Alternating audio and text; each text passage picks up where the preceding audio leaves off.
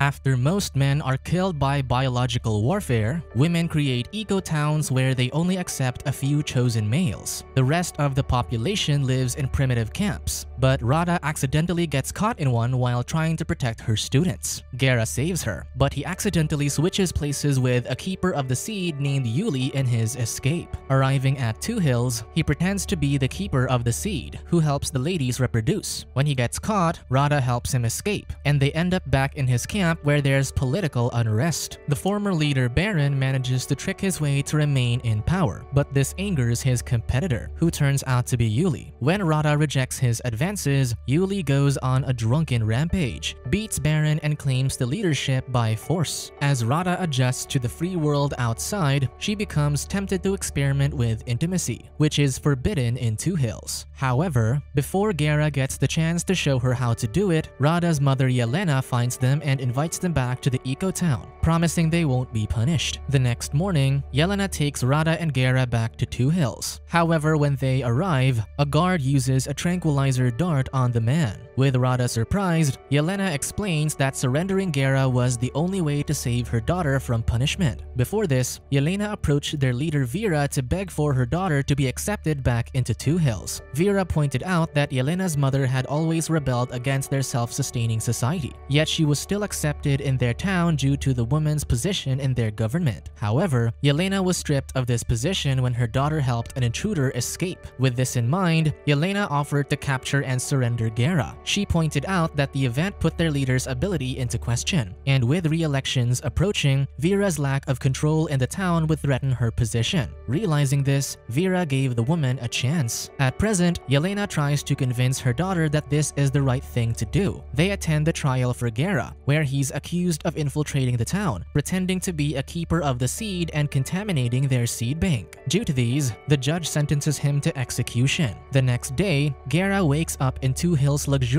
prison. The doors aren't locked, and the house is only separated by a small picket fence. Rada passes by, so he runs to her, but the picket fence suddenly grows tall, blocking his path. A guard then tranquilizes him, so he gets knocked out. Meanwhile, in the outer camps, Yuli is now their feared leader and has men searching for Rada as he's offended that she rejected them. However, the men only find a letter from Gera, declaring that he and Rada were invited back to Two Hills. This angers Yuli further. Unbeknownst to them, Gera is being prepared for public execution. He begs for his life, while Rada feels guilty for letting this happen. After being injected with something, Gera is then released, much to his surprise. He thinks he's being freed, but the judge clarifies that he's still scheduled to receive the second dose in two hours, which will kill him. In the meantime, she encourages the man to enjoy his last hours. With that in mind, he requests to say goodbye to Radha. Hearing this, the woman rushes to him and kisses him in front of the community, which disgusts them. Later, Rada's friend Ia visits her at home to announce that she's on TV with Gera. She explains that Vera's humane form of execution renders the prisoners in a deep sleep while under medication that encourages their fantasies. Those fantasies are then translated on screen, revealing that Rada's kiss with Gera wasn't real. The other keepers of the seed also watch this and are disgusted by the man's desires. Litsi, one of Gera's friends there, defends the man since he taught him how to accept his desires before he escaped. Knowing that the man had befriended some of them, Rada arrives at their lobby and shares her story about Gera. She highlights how he saved her from his camp and tried to show her what freedom is like. Learning that the man didn't actually commit a crime, the keepers decide to save their friend. Meanwhile, in an abandoned mansion, Vera meets with Baron whom she has a secret relationship with. He complains about how Yuli has taken over his camp using his inhuman strength, so he questions what the eco-towns feed their men to give them such power.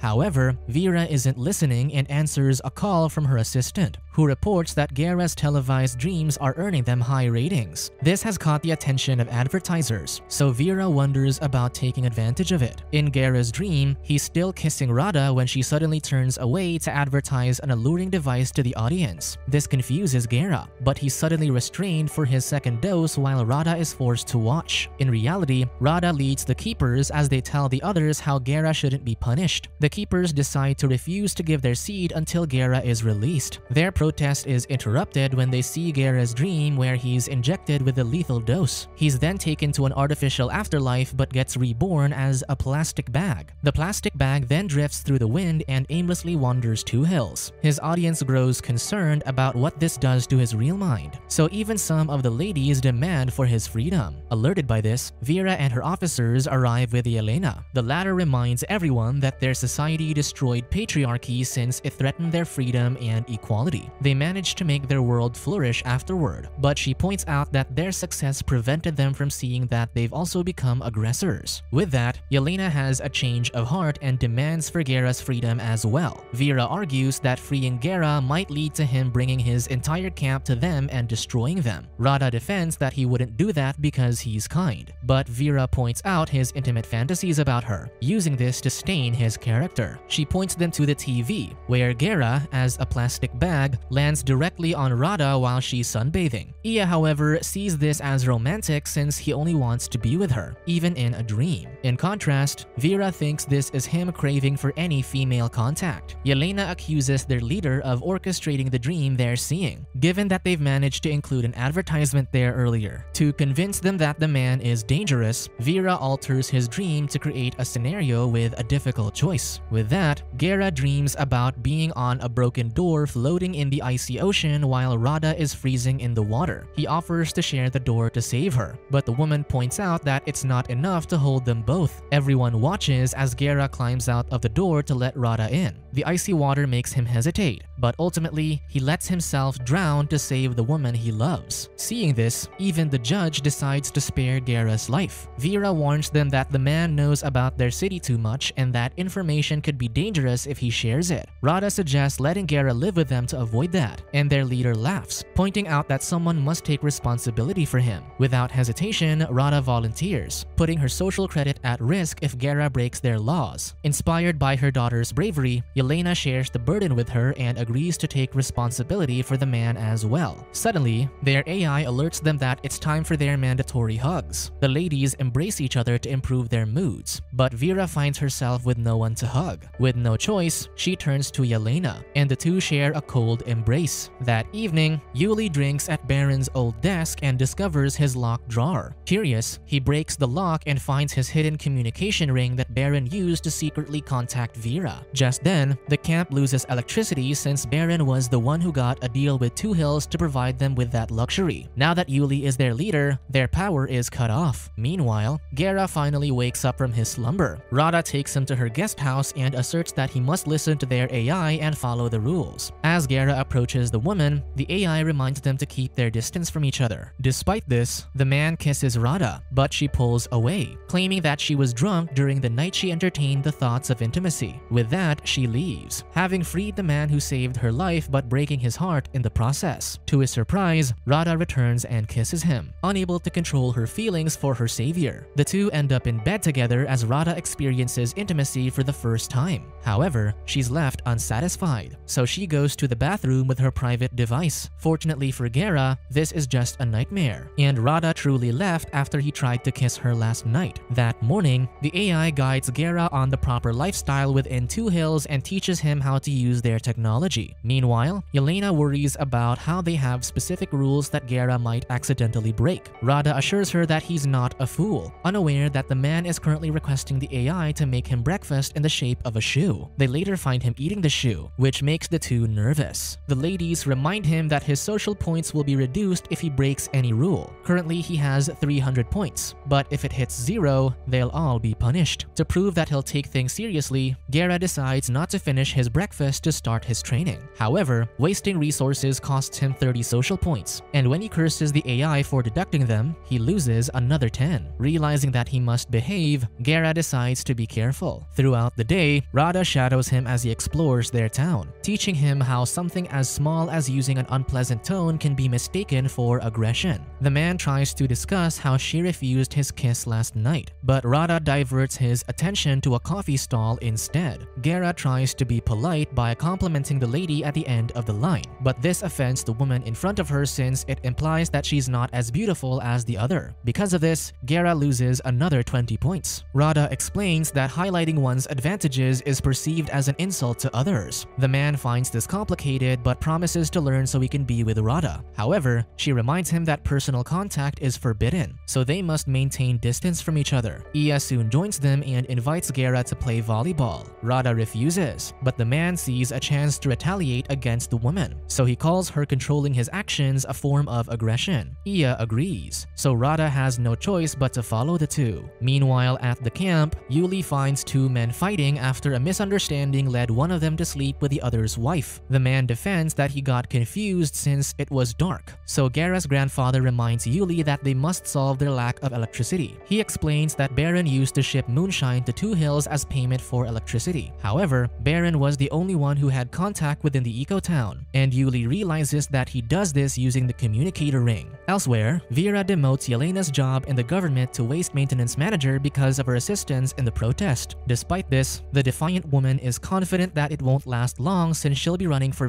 Vera's position in the next election. Confident, the leader reminds her that she'll need 20 supporters to become a candidate. Once Yelena leaves, Vera receives a call from Yuli, surprising her. He offers her moonshine in exchange for electricity, but she doesn't trust him. So she claims that they don't drink such vile substances before hanging up. Outside, Iya introduces Gera to the other ladies on the volleyball field. Among them is Uva, who asks if the primitive camp stone old people for being unable to hunt. Gera claims that they drown them instead, but Rada clarifies that he's joking, assuring the other women. With Rada joining the team, the rest decide that Uva should sit with Gera. The man points out that she was removed from the team because of her short stature, but Uva defends her friend since they didn't point it out. However, he did mention it directly, which is considered impolite, so she deducts 20 points from him. As the ladies play volleyball, Gera cheers when someone wins a round. Uva tells him that cheering for one team insults the others, while Rada explains that they view volleyball as a sport to improve their health, not as a competition. However, Iya considers playing for competition to make things more interesting. With that, she assigns Gera to track their scores. Meanwhile, Yelena approaches her mother Zoya for advice about the elections. She points out that most citizens would think that her campaign for equal rights would be controversial, given how they were raised to believe that men are dangerous. This makes Yelena worry about her campaign,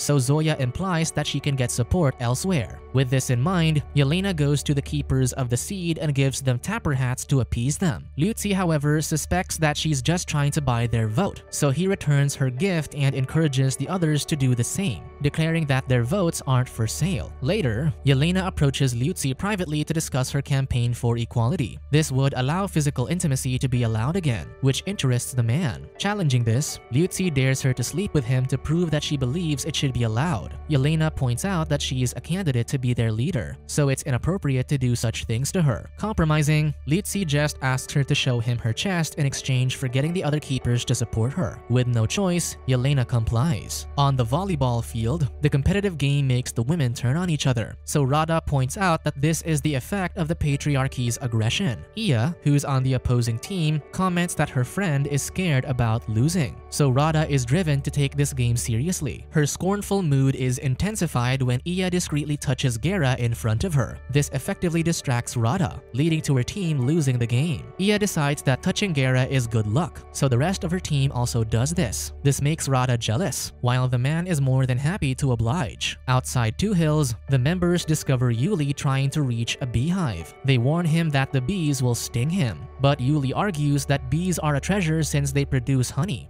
one of the rarest delicacies in the world. He plans to exchange honey for electricity instead, so one of the men gives him a stick to help. Yuli manages to topple the hive, but when a bee lands on him, the others run in fear of being stung. Elsewhere, the competitive volleyball game becomes violent, leading to an all-out fight. Meanwhile, Yelena approaches Vera to announce that she's gotten 20 supporters for her campaign. However, the leader is confident that she won't win since Gera will eventually lose his social points, which would cause Yelena to lose hers too. Soon, they discover the wounded women at the volleyball field, though the ladies testify that they didn't fight to avoid being punished. Vera doubts this, so she decides to interview each participating woman privately. After the leader leaves, Iya apologizes to Rada for harming her. The friends hug and forgive each other, but Rada reminds Gera that they can still lose their points because of this event. With this in in mind, Rada decides to limit her communication with Gera since he's a bad influence on her. That evening, Baron and Krissa return to the camp, mocking how they've lost electricity since Yuli's reign. Despite this, the people put their faith in Yuli, given that Baron was a tyrannical leader to them. Unbeknownst to them, Yuli meets with Vera to offer her a jar of honey. Happy with the product, Vera promises to provide their camp with electricity, but Yuli demands to return to Two Hills instead, abandoning the camp to seek revenge.